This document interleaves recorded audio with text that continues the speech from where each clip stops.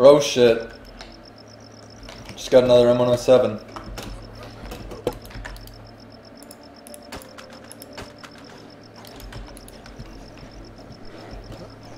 Well guys, there we go. Time to bank.